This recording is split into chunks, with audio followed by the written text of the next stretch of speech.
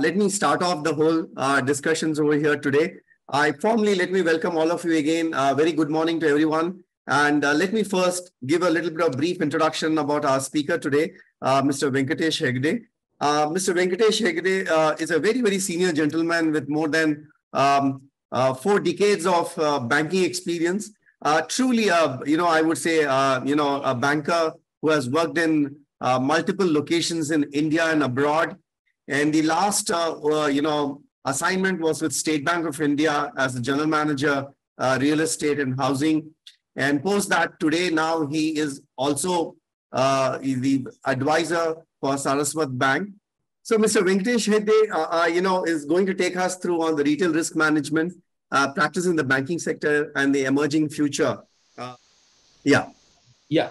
So when we talk about retail banking, I would like to take you to the entire retail banking and the expanding canvas we are in. Earlier, uh, when we were in our banks, when we had, uh, I joined the bank way back in 1990, housing loan, personal loans, and uh, auto loans were not a done thing.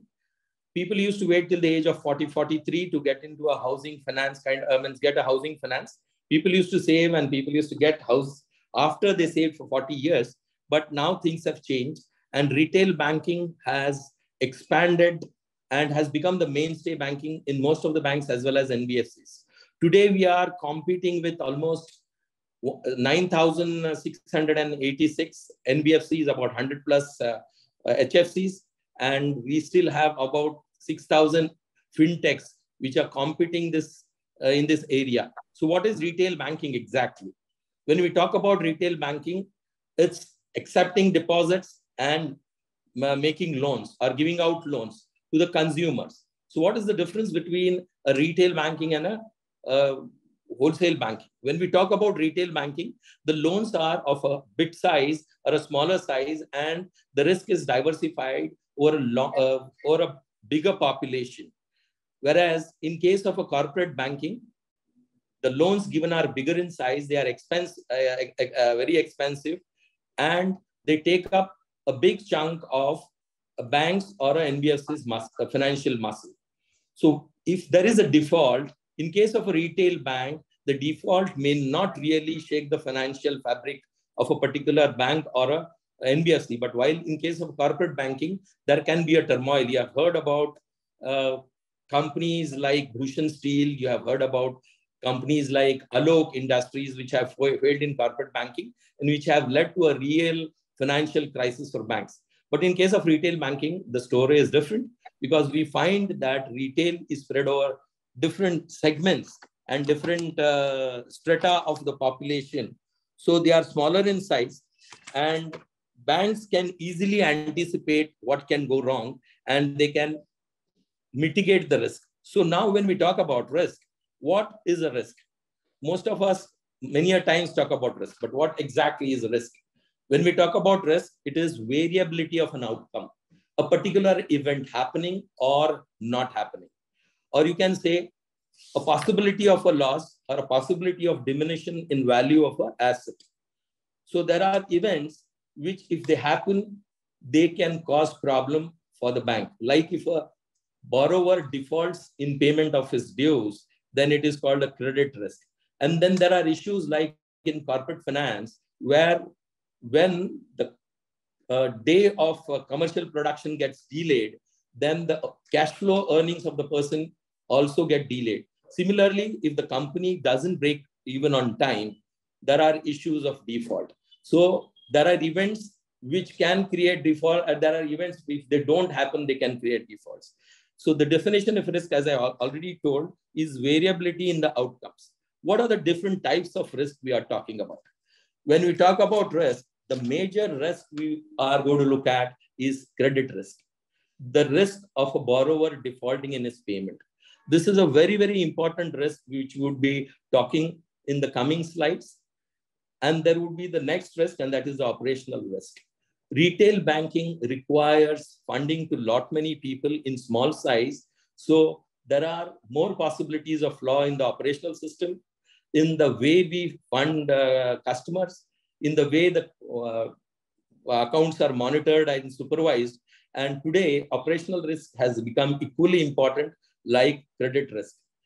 Coming to asset valuation risk. What is asset valuation risk? Asset valuation risk is a risk of a bank coming to a proper and accurate value of the asset. It may be accurate valuation of an asset, accurate valuation of a liability, or accurate valuation of a collateral.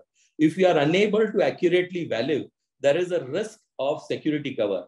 And if there is a default in this particular loan, we may lose out on the value of the security. So properly valuing the risk is uh, valuing the asset is equally important. Coming to business risk, business risk, every bank, every NBFC has a particular business strategy. The, the strategy may be a success or the strategy may be a failure. So if a strategy works, then the bank makes profit out of that product. Like in one of the banks, in a big bank, we had started a product called RLLR loan, that is repo uh, linked housing loan. But when we found that repo linked housing loan was not taking care of the exact interest expense we have on deposits and the other operative expenses, we had to close down that particular product because that product was not giving enough profit to the bank. So the strategy, business strategy failure is one of the risks. Then coming to interest rate risk, as all of you know, many of you might be in banking, and you know that banking is asset liability management. We commit a particular interest rate to a depositor, and against that, we make a loan to a customer for his requirement at a particular rate. These two interest rates on the two sides of the balance sheet do not match. So there is always a gap, and that gap is the spread on which the bank earns. So over a period of time, the deposit rates get fixed, whereas the interest rates on advances may come down like it has been happening uh, in the past during the COVID times. So this interest risk may lead to losses for the bank. And finally, we come to the reputational risk. Bank or an NBFC gives commitment to his customer or to the regulator. Any failure on coming up on the commitment or the promises which we have given to the regulator can be a reputational risk. The regulator may slap a penalty or may stop the working of a particular um, cooperative bank or an NBFC or a bank for the things which we have not come up to when we are promised or committed. So reputational risk is a very big risk which we need to very efficiently uh, manage and mitigate. When we talk about risk, how do we manage risk? There are four things to risk management. One is identifying the risk. Second is measuring the risk, then monitoring, and then mitigating. These are the four steps which are involved in risk management. Uh, the next slide, please. So coming to the most important risks in present day retail loan books is operational risk and credit risks. You might have heard that there is a dark side to every bright side. So the dark side of retail banking is attending to this credit risk and the operational risk. So how do we mitigate credit risk? The risk of default of debt. Basically, this is done through proper appraisal and proper selection. If our selection isn't proper, and if the customer is unable to pay the debt on time, it may lead to risk of default. So how do we assess properly? So there are many parameters on the basis of which a bank assesses, uh, uh, assesses the customer's eligibility for a loan and his capacity to repay over a period of time. Some of the parameters which we generally look into are years in previous job. A person who is hopping from one job to another may be a high risk for a bank because his earning capacity is always at risk and uncertain. So his repayment capacity linked to his earning capacity can also be in a problem. When we talk about age, age is an important factor to credit decisioning. And how does age affect credit decisioning? The younger a person is, the higher is his capacity to take risk. Whereas, whereas when we grow older, the risk-taking capacity may come down. Similarly, the salary in the initial ages is lesser while the salary in the... Am I audible? Am I audible? Uh, yes, you're sir, audible, yes. sir. You're audible, sir. And yes, uh, uh, am I am I going on the right track? You yeah. keep moving with. Uh? Yes, sir. Yes, sir. Great, sir. So, yeah, when we talk about age, the most most productive age for any customer or for a bank to pick up customers is from 30 to 50 years of age because the salary because the salary or income earning capacity during this age is more than the later part of the uh, years from 50 to 65 as uh, you know. Then the number of years in residence. Having a proper address and being able to identify a customer's residence is equally important while we loan. This is an important part of kyc so when we talk about kyc knowing the residence and the place one where works is important. So this is one of the parameters when we uh, assess a home loan or an auto loan or a housing loan. Coming to the next parameter is the annual income. Annual income is the biggest parameter which decides what kind of capacity the borrower has. Suppose we are loaning him, his uh, salary is X. The maximum loan we can give him is, let's say, six or seven times of X if it is a personal loan. If it is a housing loan, we can expand the spectrum of uh, uh, loan amount. And if it is a gold loan, then it is a different thing altogether because we are looking at the interest payment to be given on time. Then we come to the number of dependents. If a person has more than four to five dependents, his sustenance cost or his livelihood cost goes up. So we have different ratios which we calculate what is left after the regular expenses which a customer can use for his uh, repayment schedule. So these are the things which are appraised during the credit risk so that the risk on default, risk of default is minimized. Coming to the risk on account of technology, operations, and KYC. As I was telling you, operational risk is a risk which emanates from frauds that may be committed by the customer or those that might be perpetrated by the employees or fake documents which might be produced while we are doing the KYC of the customer. Similarly, there might be issues in the title. There are umpteen number of operational issues which we need to encounter and uh, mitigate to get this operational risk properly handled. CR mitigation through risk scoring model. What does a bank do? Banks generally depend on an internal credit rating model where about 15 to 20 and at times maybe even 50 to 60 parameters are checked and analyzed before customer is found fit to be financed. When we talk about 15 i would like to give you these are the five which i have already spoken about. They will also look at the credits in your account the debits in your account the CIBIL score the uh, uh, if there is an additional earning member in the family.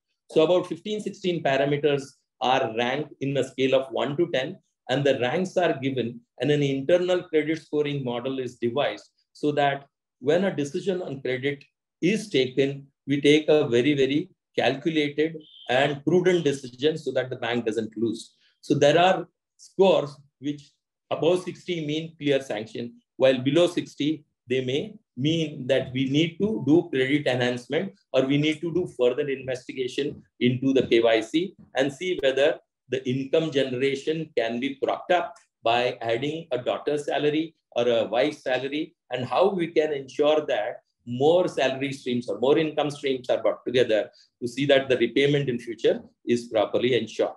Now, KYC validation and technology enhancements. When we started way back in housing in banks in 1998, State Bank had a SBI Home Finance Limited, which was looking after housing. But later on, what happened was slowly banks started giving home loans. And KYC validation, a very core banking, uh, uh, what you call, core banking activity was done in-house. But over the period, the technology and fintechs have grown so much and the core banking solution has come in. So KYC validations many a time is done by fintechs which give you support. There is Perfios. There is an organization called Perfios which does credit analysis for you. or the account statement analysis. Perfios takes consent from the customer, pulls out the account statements of from different banks and analyzes how this account means credit spends are there, credits in the accounts come in, and the debits happen. So Perfios is one of the things. Then there is a Karza.com. Karza.com ensures that the employment check is properly done. Most of the time, I have seen there is a very, very recent case which I have come across. I was talking to one of my friend in an NBFC. He was saying an organization in Nagpur started in a regular fashion by taking a license for cultural activity.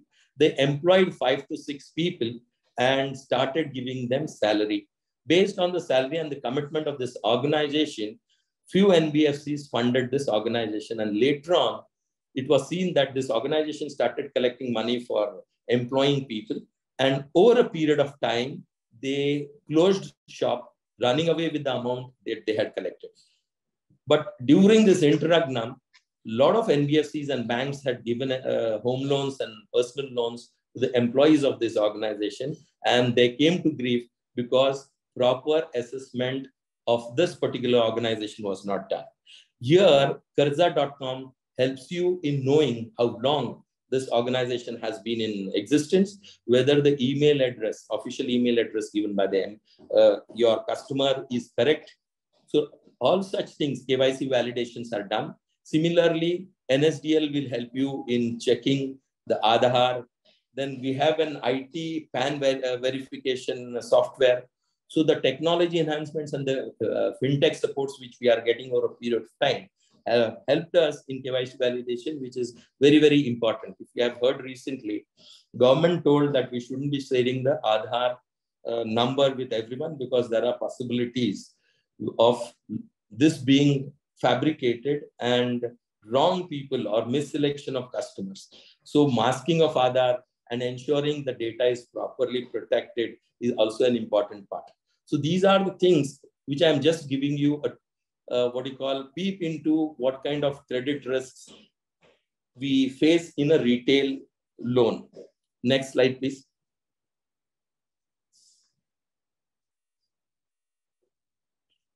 Coming to score-based evaluation and behavioral analysis.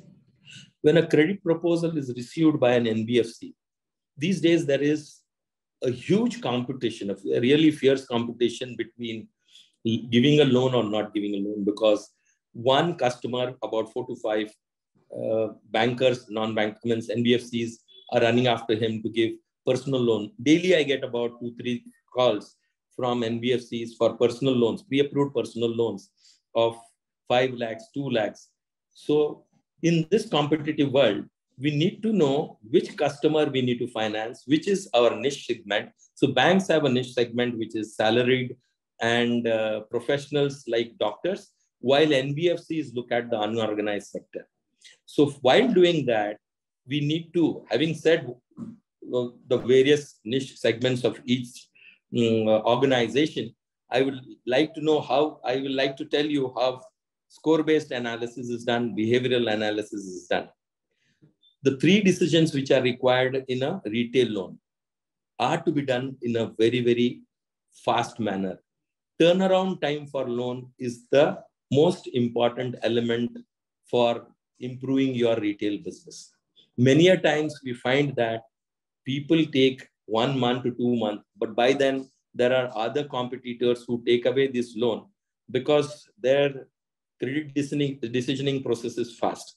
So go decision is a clear decision of sanction. No go decision is where sanctions are given with deviations. Let me sound a word of caution here because I have seen NBFCs going after customers in such aggressive manner that many a times there is a go by given to KYC norms. We take KYC very lightly and uh, misselection happens. There are also cases called OTCs. In NBFCs, I have found the OTCs, over-the-counter sanctions. Means half papers are ready, but the rest of the papers are in the process. But just to ensure that the business go doesn't go past us, we give them sanction. Similarly, there is something called PDs. PDs is post-disbursement, uh, uh, post-disbursement completion of certain formalities. This also is fraught with risk because once the customer gets the disbursement, he may not comply with your requirement and things may lead to a default, which we need to uh, guard against. Let me tell you here two, three pitfalls which we have observed in uh, when I was working in uh, my earlier bank and now in a cooperative bank. There is a default of a builder not completing the project. So we need to know whether this builder, uh, uh, what number of proposals we should do in a particular builder's project. So this is called builder concentration. So if we don't look at builder concentration, what will happen? We'll be financing about 15 to 20 uh, pro, uh, flats in a particular building just because the connection with our connection with the builder is good and later on the building may not be completed in the reasonable given time and this can lead to risk similarly we have gone through lot many cases where covid happened and many companies folded office. We had jet airways cases. No? Am i audible? You're absolutely audible sir. Go ahead sir. Go ahead. Uh, yeah. So what i was saying pandemic has been a great opportunity for, for, uh, for us to learn. There has been a paradigm shift in the way banking is done. Many things were done online and lot many things like going and visiting the person's house or going and visiting his offices couldn't be done because his offices were closed. And we found that the, uh, uh many companies stopped working because they didn't have enough funds to go through the rough patch of the pandemic. So lot many accounts went bad. These are the economic conditions which cause disruption in the loaning and defaults rise because of this. So proper assessment of the company in, uh, in for whom the borrower is working is also very, very important. So doing a sanction with deviation is fraught with risk. Business, okay, I understand lot many DSAs are under tremendous pressure to perform and give a certain amount of business. But that doesn't mean we should throw caution to the wind. KYC needs to be done in its true spirit, as well as we need to assess the employer and we need to assess the, the asset which is being purchased, whether the builder is reputed, whether the building would come up or whether he has any stalled projects. Such things are very, very important. So the go, no go and rejection decisions should be taken very, very uh, prudently. Many times we find these days that there are credit decisioning tools which give you, which spit out uh, credit decisions. But these are fraught with risk because nobody can substitute human intelligence. So in personal loans, there might be a total digitalization or end-to-end -end digitalization. But in housing loan, similarly, in case of auto loans, we need to do some kind of a manual intervention because we need to go and check the house where the customer stays or the office. We have to visit the property. All these things are important because our vendors or our depend uh, we have dependabilities like we have to depend on valuation we have to depend on title search. They may do a good work and they may not do a good work. So as a abundant precaution we need to take a second check on the valuation of the property. I have seen valuers just driving past the property and valuing the property at an X rate. But if we don't properly take care of the valuation by a second check, maybe this would be an inflated value. So these days we are giving a instruction to our uh, valuers that they should put a photo in the valuation report so that no, we know that he has actually visited and seen each and every room in a housing uh, case. Or if, if we are financing a machinery, we tell him to uh, see, uh, take a photograph of the machinery with the date in the camera. Similarly, we ask him to jot down the last uh, sale done in that area and what was the comparable rate. What is the rate in the 99 acres or a magic brick? and compare it with the revenue rate or the government mandated rate. All these things are done so that we avoid the asset valuation risk. Now there are, there are behavioral patterns. These are the things which banks do. Banks have structured data points. What is the difference between a bank and an NBFC? Banks work on structured data points, whereas NBFCs work on unstructured data points. because if NBFCs work on uh, structured data points, they may not be able to catch the clientele which they are right now focusing on. They are the unorganized sectors. They are the small traders. They are uh, uh, the professionals and uh, the other people who don't get funding that easily from the bank because banks generally focus on salaried and a certain portion of uh, professionals. So behavioral patterns come into play. What, what do I mean by behavioral patterns? What generally happens is NBFCs do analytics on analytics on uh, let's say how many cylinders does a customer take in a year? How many cylinders do a customer does a customer take in a year? Because that gives the kind of spend he has for his regular uh, livelihood. Similarly they look at the online purchases he makes on Amazon, the Myntra, and other places, the telephone bills are checked. Then there is something called check on uh, the maintenance bill of the house. These, all these things, the banks are not in a position to check because every check requires the customer's consent. So there is a concept called customer consent management, which these fintechs these days try to get and try to access every possible uh, data which is giving the behavioral pattern of the customer. They'll go into the social media, they see what kind of spend he has on transport and what is the repayment history of his earlier personal loans. And all these things lead to a proper assessment of a stated income. What do I mean by stated income? Many a times uh, we have to go by stated income because these clients don't have IT returns, they don't have a uh, account which is properly maintained. So they give their income basis, the uh, daily revenues they earn. So this stated income has to be cross-checked by a person who goes there at the shop or the place and tries to find out how many people visit the property, uh, visit the shop, how many say, uh, like in the case of a doctor, a person goes to his dispensary and sees how many patients visit daily, what is the general fee the doctor charges, and what is the lean period and what is the peak period. So such kind of analysis is done. This brings me to a uh, to a finance uh, financial crisis that happened in US in 2008, 2009, and 2010. Because fortunately, due to State Bank of India, I had the opportunity to work in US and I saw what happens when we go overboard in retail banking. When we talk about retail banking, there were those were the days when retail banking was done by in US. They said bad credit, bad CIBIL, no problems. You have issues in your payment, no problems. So KYC as well as income generation check was given a go by. And crisis happened Bank of America was on the crisis. In crisis, they were about to fail.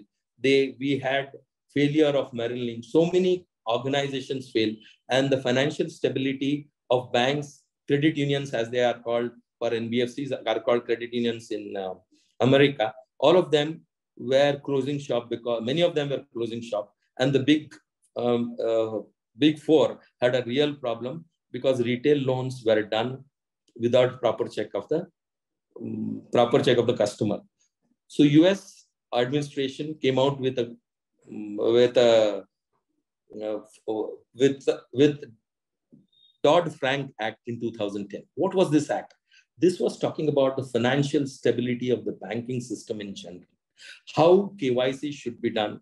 What there it is called FICO checks or FICO check, we, which we here call credit bureau check. How FOIR should be checked. They call their DTL or debt to uh, uh, debt to loan uh, ratio or income to loan ratio.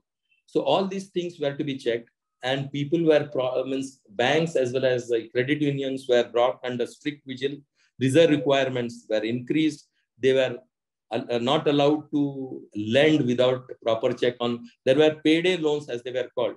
A similar thing happened when we were in around 2013 14, where a lot of uh, defaults started happening. We had the IL&FS failure, which brought us to a situation where we had to do a lot of analysis of uh, the customer when we lend. So what are the things which we need to check? The credit bureau check. You know that there are four credit bureaus in India. One is CIBIL, the second one is CRIF Highmark, Experian, and we have one more um, Experian. Uh, four are there. So generally people go by CIBIL. Huh? Uh, Equifax. Yeah, yeah. Experian, uh, which is the one you said? Sorry. Equifax. Equifax. Equifax. Equifax, Experian, uh, CRIF Highmark, and CIBIL. So what happens is these credit bureaus also get, uh, work on credit bureaus were started in 2010 let me tell you earlier credit bureaus were not in operation in india because we never knew that credit history has to be checked because retail loans were in very nascent stage in 2000 early 2000 I still remember having read a book by uh, Joseph, who said that retail banking is as hot as as hot as a, a curry, a Goan curry, which is very spicy, or it is called. Uh, why did he say that? Because retail bank has multifarious things to be checked. There are multiple products, there are multiple channels, and there are multiple customers when we talk about multiple uh, channels, we talk about uh, we talk about uh, uh banker uh, business correspondence. We talk about call centers. We talk about online credit apps. We, so there are so many products as well as so many things which need to be checked. So in 2010 they thought that credit assessment for retail was not easy because there was not enough data to assess credit. So credit bureaus were started. Initially CIBIL check was only done and the second check was not done but data supply to these credit uh, bureaus has its own issues. So certain banks started checking two credit bureau scores so some banks do CIBIL as well as CRIF Highmark. Some banks do CIBIL as well as Experian. some do CIBIL and uh, the other ones. So this is, there is a particular score against which there is a clear sanction. 680 and above, it is a clear sanction, whereas below 650, you need to do further analysis. Now, what is FOIR? Fixed obligation to income ratio. We have to ensure that a customer is not highly leveraged. He doesn't go out into the market and take a personal loan, take a auto loan, take a, a home loan, and uh, over a period of time, he starts defaulting. So we have to ensure that the FOIR is good enough to keep him enough money for his sustenance and later on leave sufficient surplus for paying the uh, dues. Let me tell you one case of case of mine where the nurse, the male nurse who was tending to my father-in-law, had taken loans for different online apps and had really got into a very tight corner. He found that loans were coming very easy. So he took loans from online apps, he took loans on credit cards, he took loan for his uh, automobile. So all these things were done because he was in an unorganized sector where his uh, income couldn't be properly judged. So this is here, the FOIR is one important thing which we need to check the, uh, as I said, it is called DTL in some places. So anything above 40% or above 43% in US is a danger level because a person cannot survive with 50% of salary because there are expenses to be taken care of. Then we come to loan to value. This is an RBI regulated ratio. Loan to value means when a property is being financed, we should ensure that the loan that we give against property doesn't cross a certain percentage. There are social objectives where affordable housing, we give loan up to 90% of the asset value, whereas in higher loan cases, the loan to value is has a ceiling of 75%. Why is this done? Why is this done? This is done because in cases like crisis which happened, subprime crisis, the property value started dropping and the margin, the customer's margin of 20, 25% was wiped out. And only the bank borrowing was left. So customers started leaving the house, tearing apart the house at times because wooden houses are there and leaving the house which wouldn't fetch enough value even to liquidate the loan. So loan value is very, very important. We should ensure that even if there is a fall in the value like it happened during the pandemic time, an unprecedented time it was, property values in Bombay dropped to the extent of 15 to 20%. And some places like uh, Chennai, they were down by almost 20%. So if there is a fall in the property values, it's called the distress price, we should get, we should be properly covered. Coming to internal cutoff scores. Internal, I have talk, talked about this, that there are 15 different par parameters on which a customer is judged. Here, we take a prudent call that 60 will be a clear sanction, 80, um, uh, 50 will require some kind of deviation, and below 50 we will not sanction.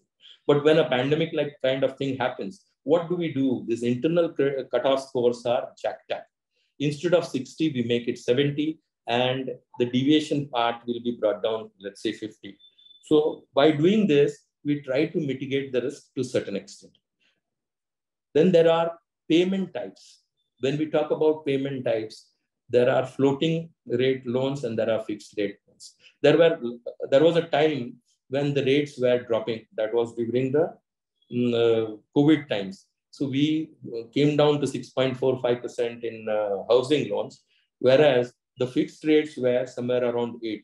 So people thought that they should be on the floaters, whereas uh, fixed rate, if they had taken today, they would have been in a better position because fixed rates go for next five years or the reset is for three years. But floating rates will create issues of repayment because the EMIs will go up. In banks, sometimes we extend the period period of loan, but at times NBFCs keep uh, increase the EMIs and the customer may not be in a position to take care of the increased EMI because the salaries are not going up. On the other way, uh, they may be coming down because there are salary cuts which have happened in some organizations which are trying to make good the losses which they incurred during the pandemic period. So these are few of the parameters which I feel. And even in India, RBI came out with such regulations like the reason for telling you Dodd-Frank Act was RBI also came out with financial stability report for banks. It also came out with depositors uh, code of uh, conduct or bankers code of conduct for depositors, lenders code. All these things tells what a bank should do and what a bank shouldn't do. So in our anxiety to do business, if we are uh, trying to give a go by to certain credit mitigants, maybe over a period of time, we may end up into a wrong selection. Let me tell you one thing there were some builders who were garfing. Uh, an example which we have, I have personally gone through. There were some builders who were uh, over trading, rather they had started two, three buildings at a time. And for ensuring that they take the money out of the system, they had uh, fake uh, customers taking home loans. His own driver, his uh, accountant, uh, his uh, employee, and a lot of housing loans were given in that property and that amount used to go to the builder. And the builder was trying to complete his product out of the housing loan given to his own employees. And in the process, he was also trying to repay the installments. Repay the installments regularly for 14, 13, 14 months.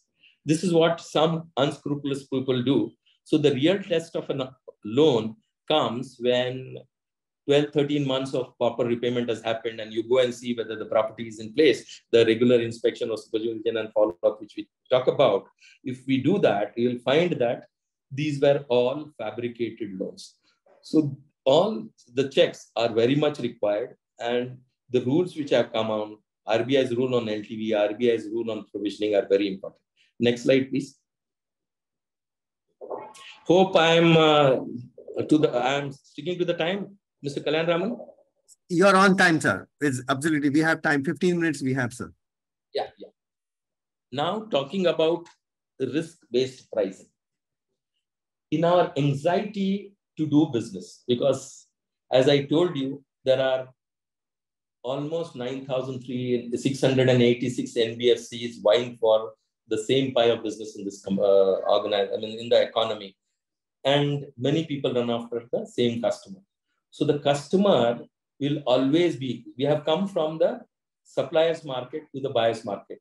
I remember in the early, late 90s, getting a home loan was very, very difficult. And there were no personal loans at all. They were called consumer durable loans, where fridge, refrigerator, and such things were financed directly to the vendors. But that was fraught with risk, so they came out with personal loans. And today, personal loans are given left, right, center without proper check and uh, checks and balances. So to ensure that misselection losses are properly compensated, we have risk-based pricing because one price fits all is not true in retail banking. Why not true in retail banking? It's not true in the present competitive world at all. So different customers are charged different. Then how do we charge? How do we assess the risk? Now, when we talk about risk, we go by the loan term. Initially, personal loans were given only for three years, which went on for five years and then for seven years. And now sometimes some organizations are even ready to give a rolling loan. They keep it rolling on from three to five and uh, such things. So loan term, if you are taking a long-term risk on a particular customer, then the rate of interest needs to be jacked up so that the risk premium is taken care of. Then we talk about loan amount. Affordable loans are given basis the salary of the person. You might have heard about PMA PMAY, means Prime Minister's uh, Awas Yojana, where uh, the uh, national mandate was that we should finance, there should be home for all. So we were financing loans up to 30 lakhs at a, a discounted rate and government was subsidizing us. But when we go to amounts which are 75 lakhs and above, the rates have to be higher or they need to be calibrated with the CIBIL score. Uh, why do the rates be higher? Because when we talk about unorganized sector or the self-employed and professionals, the general risk is in times of pandemic, unprecedented times like uh, pandemic, what happens is the customer would like that his business survives and his livelihood survives rather than uh, paying his home loans. So in such cases, when we give loans to businessmen and uh, traders who are in big business, there would be defaults unless we have properly checked his past credit history and his CIBIL score. So uh, loan amounts above 75 lakhs slightly carry a higher risk. Then talking about CIBIL score, earlier CIBIL score was one of the parameters in the internal credit scoring. It wasn't a parameter for risk-based pricing. What is, now let me go a, a little deeper and tell you what a risk-based scoring is. RBI has told us that whenever there is a decrease in interest, we need to pass or that there has to be transmission of this interest concession to the customer so that the economy grows. And when there is an increase in rate, the uh, interest rates are also increased. This has been the trend. So RBI is talking about linking this rate to an external benchmark rate, like might be a repo rate, it might be a bill of exchange rate, or any rate. So how is this risk-based pricing done? We take the repo rate at which RBI lends us, and we add risk premium. And when we talk about risk premium, all these six parameters come into play. Then we add our operational cost. Then we add credit cost. What is the credit cost? Credit cost is a cost of loan going bad. Suppose we are going to lose about, let's say, 100 crores. Then the credit cost of losing 100 crores is factored by way of credit cost. So we have all these things which together lead to risk-based pricing. So I've talked about loan term, I've talked about loan amount and um, score. Type of customer.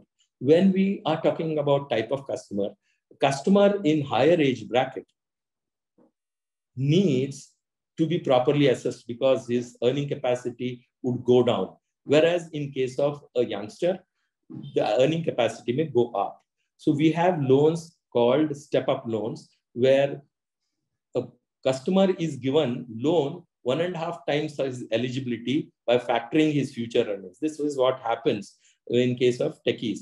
So the initial installments are less, EMIs are less to match his uh, present salary and the installment keeps on ballooning as his salary grows. While in case of a pensioner, uh, we, we know rather a person is going to retire in the next 10 years, what uh, they do is the initial installments are high. And when he retires and he gets on a fixed kind of income, the installments keep going down. So we try to assess the type of a customer. And while taking assessment also, there is an unwritten law that we generally uh, try to avoid a politician, um, what you call legal uh, professional, because they are prone to get into complications. So there is an unwritten law that we, and then there are areas. There is a gender, like uh, we talk about women empowerment. So most of the banks and some NBFCs give an additional concession for women. They get a five bips reduction in the rate which is applied to male, so that uh, it's it's a known fact, and uh, self-help groups have proven it that when a lady takes a loan, the repayment generally the repayment capacity, uh, the repayment history is better. Now we come to type of security. What is the type of security we need to um, check on? The type of security is very, very important because I have seen multiple lendings being done on the same security or a security which is under construction and we have not uh, assessed properly. Or in case of auto loans, I've seen that we have, uh, there were some finance, big ticket financing done for Ferraris and Mercedes, and the vendor didn't deliver the cars. And loans of two and three crores went bad because there was an excess uh, there was an excess between um, the vendor and the borrower, and the margin money was given by the car dealer and the amount was taken by the car dealer, the loan amount was taken by the car dealer. So the type of security we have to check whether so many mm, high, high-end cars are being sold, whether uh, the house is under construction. So these are the things which are factored in a risk-based pricing and a different customer is given a different uh, rate. Now we talk about customer relationship management, which is the in thing in today's uh, banking. We look at our customer and his uh, vintage. So if a customer has already taken two auto loans and repaid it and has taken a housing loan too, the third auto loan which he takes comes at a, a discount so that we know his repayment capacity is good. He's, uh, he has a good track record and we, he may not default. So customer relationship management checks the life cycle of a customer what are his needs and how we can finance what is the best product we can give him and each and every bank and nbfcs are today very effectively using this customer relationship management and i i would suggest that please check what are the previous customs or previous relations of this customer and how he has uh, taken care of this relation and we can progressively give more loans to people who have proven themselves in that repayment track record. And we can avoid misselection if we have seen that uh, he has defaulted in the past. Now coming to marketing initiatives. Today we are in an age of marketing initiatives. Each NBFC, each bank is on a marketing blitzkrieg. There are uh, SMS, bulk SMSs being sent. There are uh, uh, what you call advertisement plus. There are email plus. So we are almost using all data. Data is the gold uh, in the present uh, uh, economy. So basis the data we get from browsing, we start sending out emails, SMSs, WhatsApp, and uh, you, say, uh, you say and you do what uh, kind of things. And a lot of customers come to us. There are, in such cases, what happens is there are people who are professionals in taking loans. So we need to know whom to take and whom not to take. Marketing initiatives are good, but through marketing initiatives, whatever comes needs to be properly analyzed. Uh, and the spend on marketing should be for proper selection of the customer rather than uh, going after a person who is after you. Coming to the screening applicants. When the applications are received, there is a lot of screening which is need, uh, which is done either through a software or fintech or through managing the accounts. We need to manage the accounts properly because as I have told, when you give a new housing loan, you look at the old auto loan that the customer has taken and if has been paying properly, we see the, an opportunity there to give him a top-up loan. The housing loan, whatever equity is left out of it, maybe after two, three years, we give him a top-up loan and uh, take advantage of our relation with the customer. Whereas if we see an account going into stress, we need to ensure that there is a balance transfer before the account goes into uh, a problem. So we need to do proper quality assessment once we are screened, sanctioned. Our work doesn't stop there. The supervision and follow-up continues in monitoring the, and this is a very, very important and cumbersome task. Next slide, please. Now, retail risk management. Interest rate risk, I have already spoken. Asset liability management. We have to ensure that the fixed deposits rates which are fixed, but loan rates keep on coming up and down. So the asset liability management should properly be uh, managed and we don't lose out uh, by paying more to the depositors and taking less from the customers. So this is the interest rate risk and regulatory compliances which uh, surround this particular risk. There are external factors like the social environment, as I was talking. Suddenly, a virus totally disrupts the economy like we had in COVID, and defaults are on the rise, not because they are intentional, but because of the problems in the uh, area. Then there are economic impacts. Certain uh, things happen in a particular city or a particular locality, and businesses are closed, and we need to take care of such issues. So interest risk risk is very, very important. Credit risk and interest benchmarking, I have already spoken about how repo rate is linked and how credit risk premium is added to it, to this component. Now we come to what are the regulatory compliances. With the experience we had from IL&FS, with the experience we had from the American subprime crisis, RBI has kept certain conditions while we do retail loaning because uh, they want banks and NBFCs not to go overboard. So there is a capital requirement now when we do a housing loan, we and we have to provide only 35% if it is below, let's say, mm, uh, 75 lakhs. But when it goes above 75 lakhs, the capital requirement is 50%. In the process, the liquidity of the bank and the stability bank of the bank is ensured because there is a capital requirement which the RBI stipulates to ensure that the financial stability of banks and NBFCs is maintained. Coming to provisioning, there is one more requirement that is provisioning, which has to be calculated. And as I told you, this is called the credit cost. So even a standard asset, all of you might be knowing what an NPA is. I wouldn't like to go in it. For NPA, even a standard asset uh, carries 0.25% provisioning. From the profit, the banks have to keep aside 0.25%. But if there is a stress, an account becomes an SMA, special mention asset, zero up, default up to 30 days, default up to 60 days, and default beyond 60 days, then there is a provisioning of 50%, 15% required. Doubtful assets require 25% plus 40% of the unsecured portion or 100%.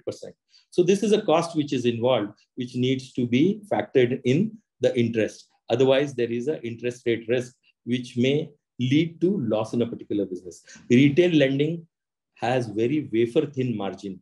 It's not like wholesale banking where we charge 11%, 10% rates, and the margin or profit margin, margin spread available to the bank is very high.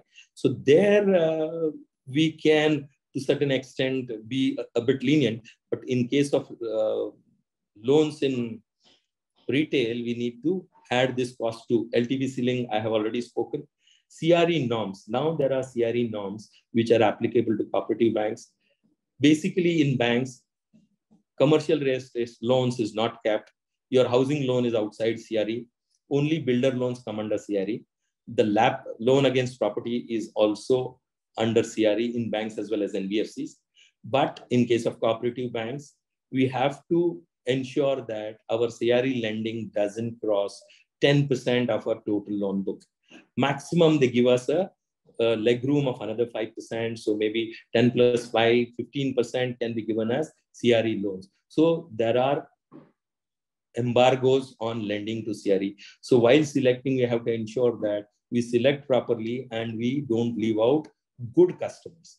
When rates are, uh, when there is an advertisement, generally bad customers also come. And when rate is jacked, uh, interest rate is jacked up, good customers may go away from us because there is competition in the market.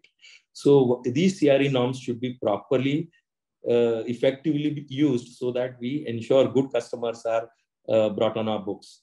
Then there is product parameterization. There are a lot of things which we need to do in product parameterization.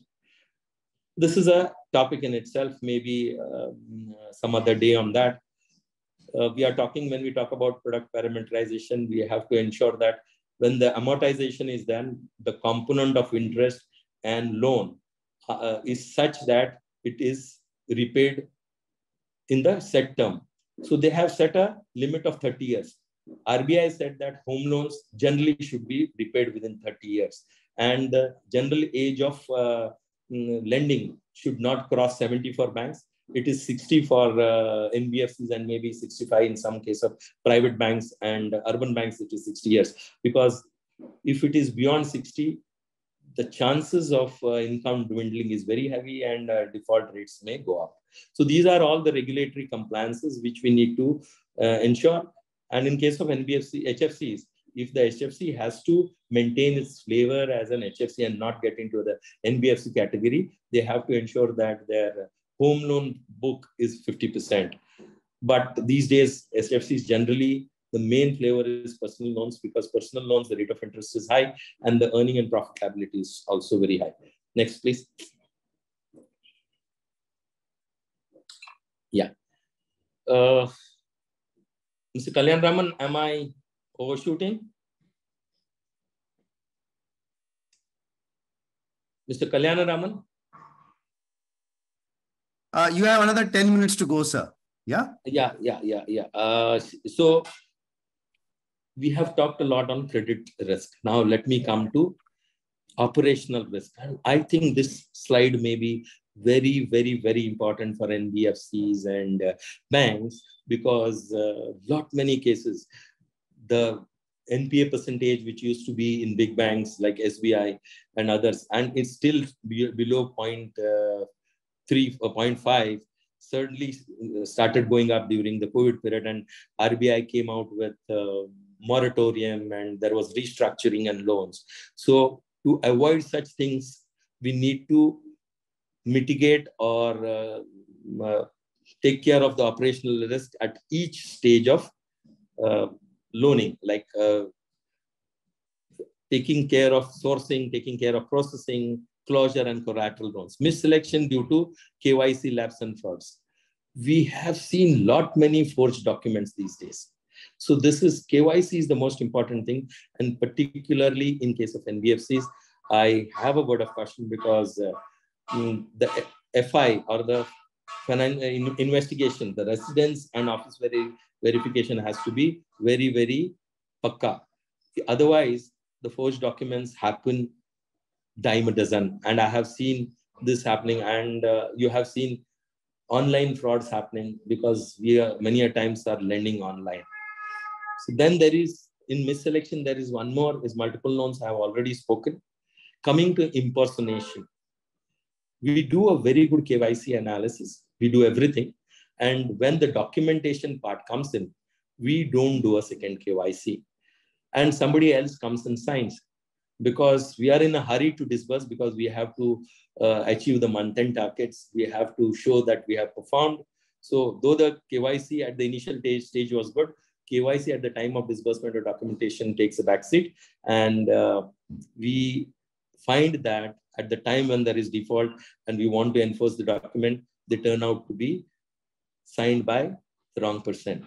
Coming to caution profile, as I have already told, there is a caution Caution profile is one more thing which we have to always check. And caution profile comes from our data analysis. Our data shows us that a particular segment, let's say uh, vegetable vendors in a particular area have started defaulting because they have remigrated to their hometown. And giving them now would may lead to problems.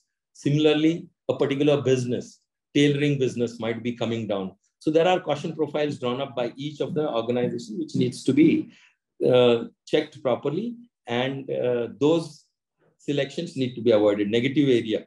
Certain areas are known for default because peer level pressures are there and the general culture in that area is uh, bad. So we have to have a, a pre uh, knowledge of such areas where we have to go with caution.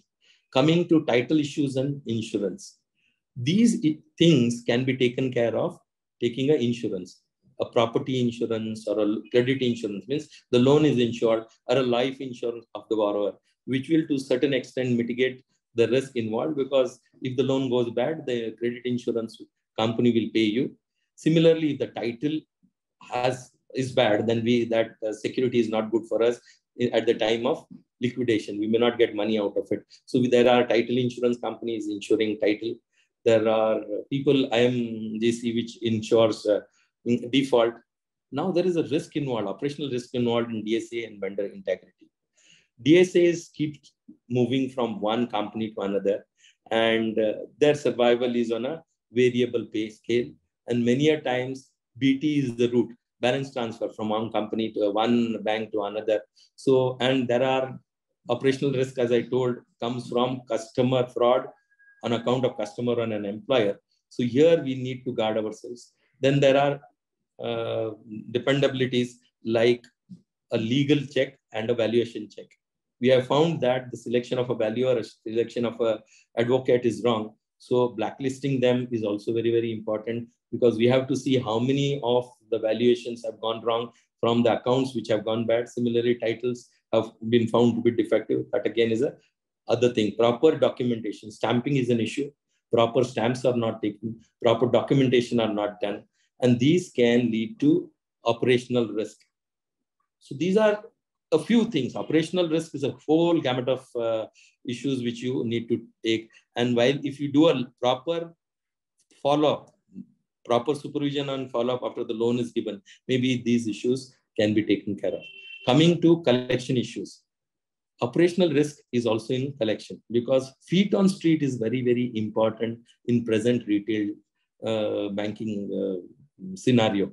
If our collection mechanism is not good, even the best paymaster may not pay in case of a personal loan because we are financing an inorganized sector or a, a, sector where if you go there, the number of visits, how often do you visit the customer? Do you really ensure his cash flows are captured? Do you see whether his business is on, whether the business has stopped, whether he has migrated? All these things come out in a collection. So in many a times it happens that in a structured uh, organization like bank collection is outsourced and there is an issue that the collecting person also turn out to be a risk or collection is not happening at all so such things also are important and nbfcs are very very adept in this. And i'm sure nbfcs can help out banks in uh, improving the collection mechanism because their feet on street is very nice and uh, very good and their connect with the customers are also good. Improper closure of accounts is wrong closure of accounts because the risk of an internal internal uh, employee or a customer closing an account by putting in credits from different accounts or giving out a, a title deed before the account is closed such issues are operational issues and every whether it is processing sourcing every stage this operational risk needs to be taken care of next please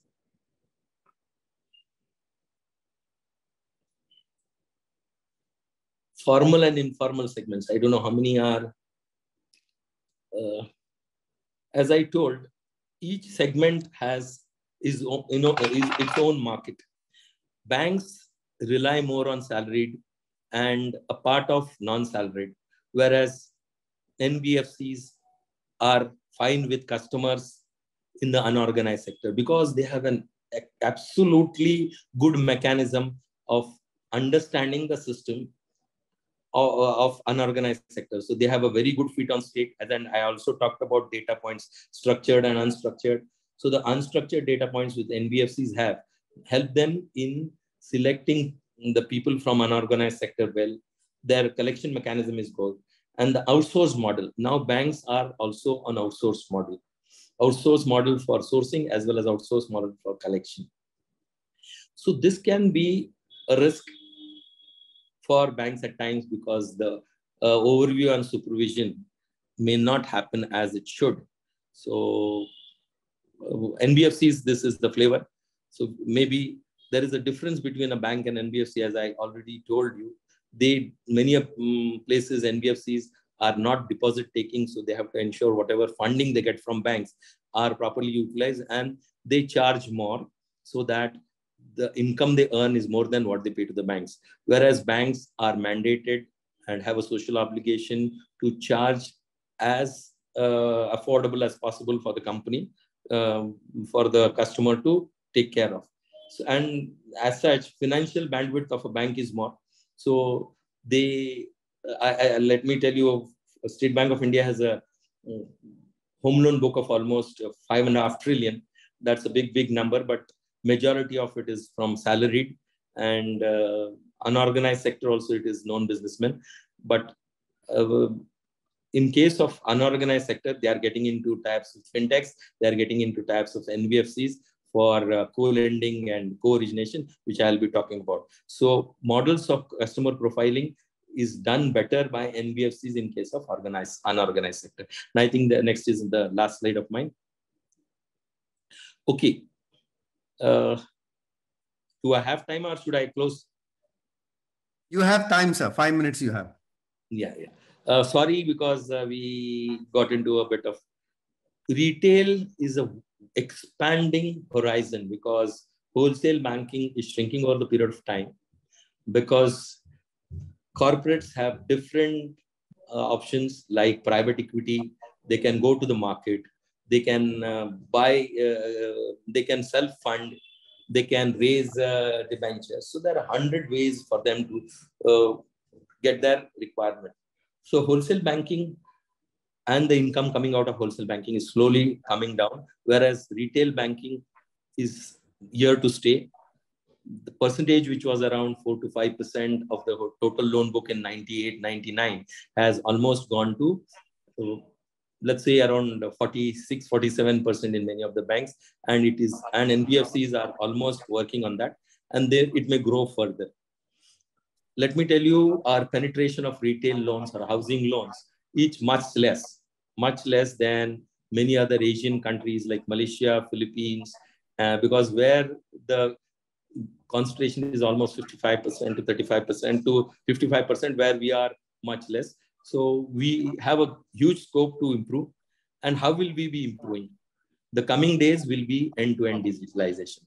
More end-to-end experience will bring in more business. So, and this can be done in collaboration. Only collaborative efforts will give us business. So, co-lending and co-origination would be an in thing. NBFCs, fintechs can collaborate with the banks to do the co-origination.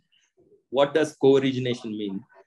The NBFCs will source the loans, do the initial part of sourcing. The second KYC will be done by the bank and a service fee will be given to the NBFC because NBFC doesn't have enough financial bandwidth. The second part is co-lending. And many banks, I think Bank of Baroda and State Bank are in co-lending in a big way. And what co-lending means is 20% of the loan, whether it is housing loan or a personal loan or an agri loan, is funded by the NBFC and 80% is passed on to the uh, bank. And how does the customer benefit? The rate of interest NBFC generally used to charge in the past was anywhere between 16 to 24% where banks used to charge are charging around 8 to 12 percent. So a blended rate brings down the cost for the customer. It may be around 14 to 15 percent. So that's win-win for all. The NBFC benefits, the bank benefits, and the customer benefits. So this co-lending and co-origination model would be a in thing in the coming days. Now we come to the second model, which is called BNPL, buy now and pay later personal loans are getting replaced by BNPL. What is BNPL? We go to buy a, um, buy a refrigerator, there is a person in between, like say Amazon Pay, who will say that we will pay the vendor or we will pay the supplier and you pay us over a period of six months or you pay us over a period of uh, one year. So here the rate of interest is 2-3%. So what does the lender earn? So the lender gets 8 to 9% maybe from the manufacturer because he can push sales, whereas the customer may be charged 2% or no interest loans. And it's again a good thing. Uh, coming to RB, RPA or robotic process automation or uh, Lean Six Sigma, what is it? Many of the activities in retail loans is very cumbersome, repetitive, and may lead to operational flaws and may lead to defaults or, or may lead to losses. So robotic process automation is a Six Sigma where the error of such, such errors are brought down to almost 0. Point, uh, means the accuracy is 99.99999 because all repetitive things are passed on to the robotics and uh, the bank only does the uh, decisioning. Neobanks, as I have already told, is something which is coming heavily. We have uh, in, in, in BNPL, we have uh, names like uh, Easy Pay or Lazy Money, Simple Money. There are hundreds of people who are in this business now. Now, coming to neobanks, these banks are totally online banks. They don't have physical presence. They are only on online and they use the facilities of the bank and their licenses NBFC license and they do give the digital experience to the customer and earn out of this servicing. Open banking is where the data, data is very, very important. If data is shared, then decisioning becomes easy. These days, data sharing is a very, very uh, important issue and uh, privacy and secrecy norms prohibit this. So RBI has come out with account aggregator model where data is shared by banks to other banks so that credit is properly done. And this is also called open banking. Many banks have started this uh, data aggregator model, account aggregator model like Bank of India is there, Axis Bank is there. And we also have uh, Razor, Razorpay who share the data and bring up bring down the operational risk of wrong KYC. Subscription banking is uh, in the traditional banking, we had uh, the charging system of we charge separately for legal, we charge separately for uh, processing, and we charge separately for uh, mm, uh, what you call documentation, stamp duty, and all. But subscription banking is you subscribe to a particular bouquet of products and you get all of them for a single payment. And there is no better example to give than Amazon Pay, Amazon Prime, which uh, does this in a very beautiful way. Finally, as I told you, collaboration with fintechs. There are almost 3,900 odd fintechs. They don't have financial muscle, but they have uh, all good systems to take care of digital experience. So come over, but uh, the final say on this talk is we are not off the physical bank because there are different customers.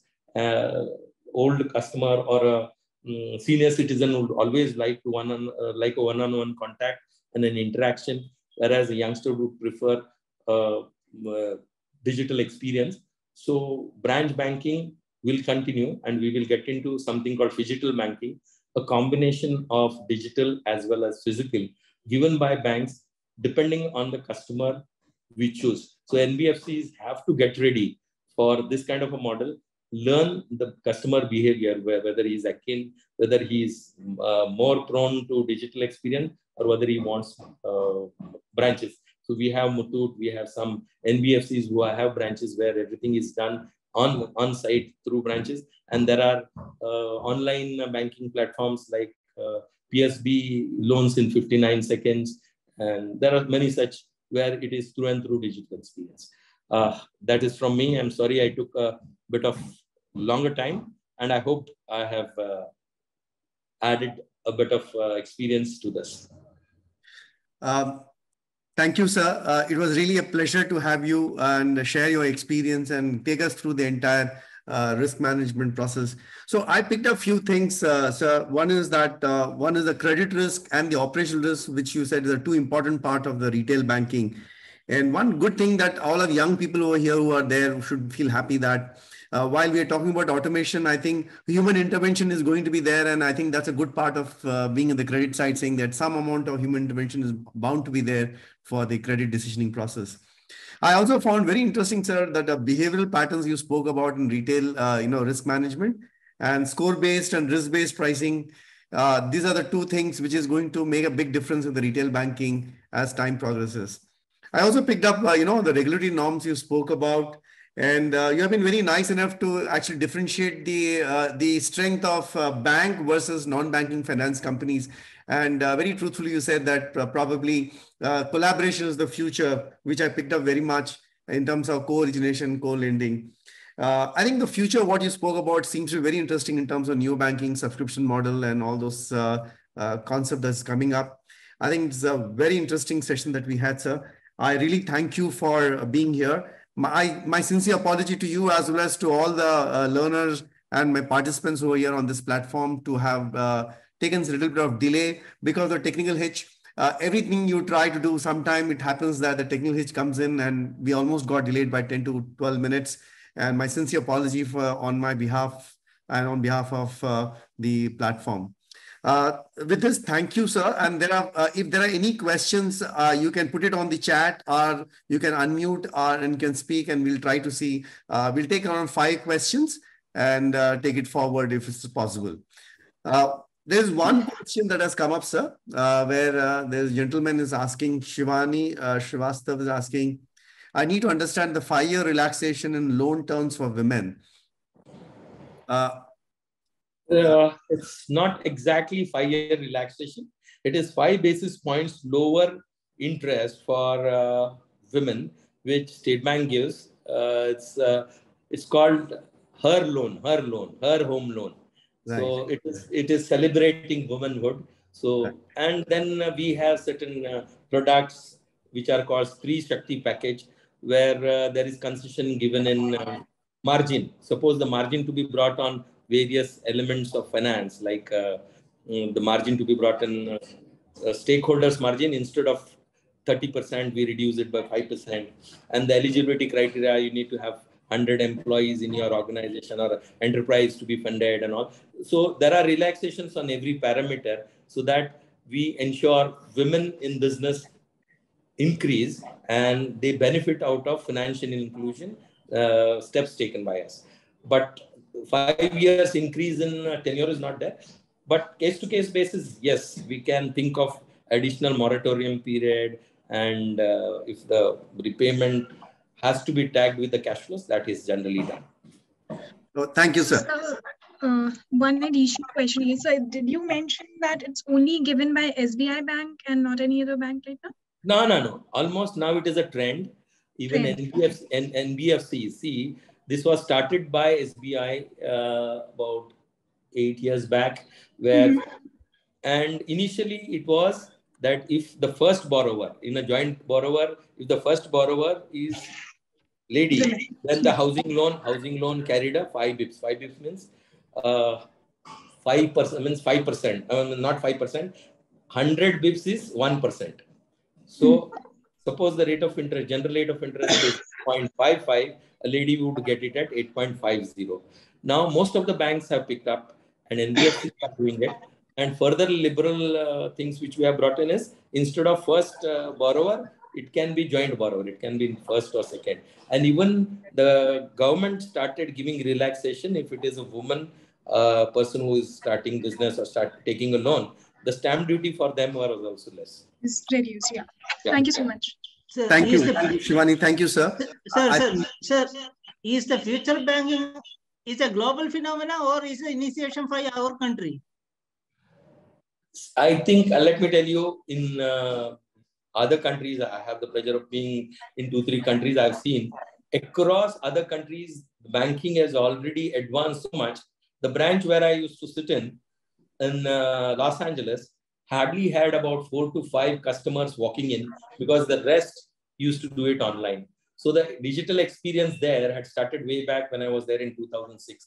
Here, it is starting a bit late. But then, yes, the youngsters believe in digital experience. So this would happen, but there would be a combination because uh, let me give you some statistics. In India, almost 35 to 40 crore people are still not having banking so you have heard about JAM.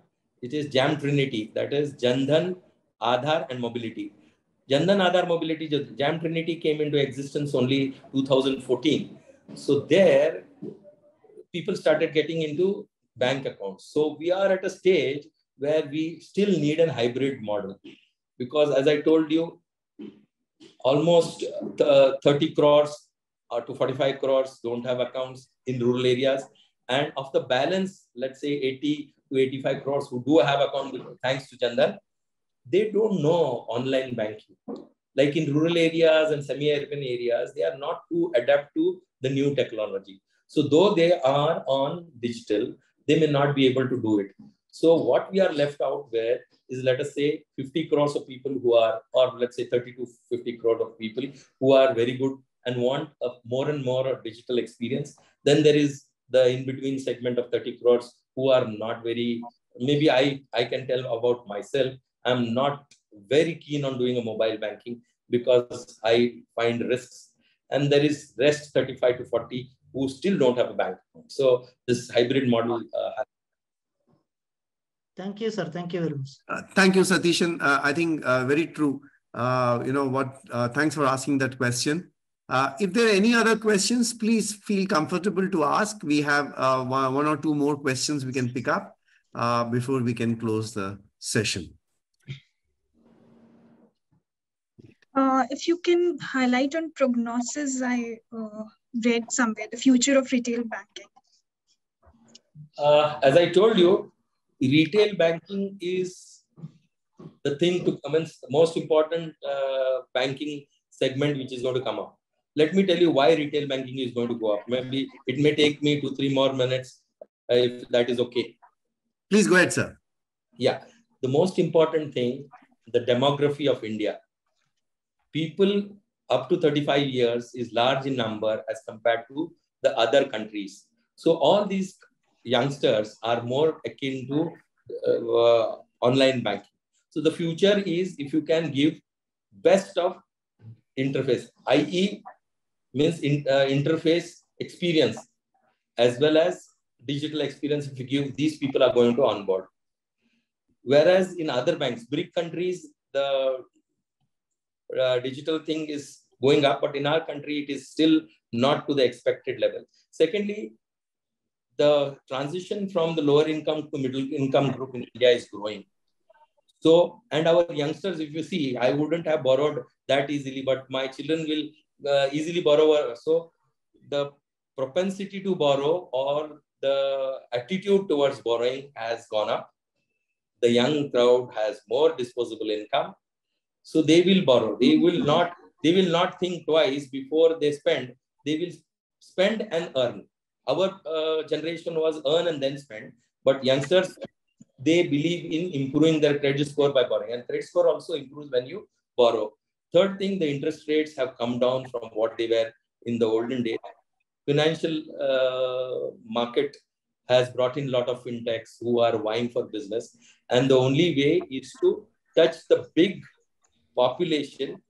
I think we, if you have read today's paper, we are the fifth largest economy in the world because UK has slipped, yeah UK has slipped to sixth. So yes. there, there is a huge un, unmet demand which will come only from retail. Corporate will get because uh, the borders have opened up. There is uh, no border. It's a global village. So money will come for corporates from all different sides. But for a um, individual, it has to be through retail banking.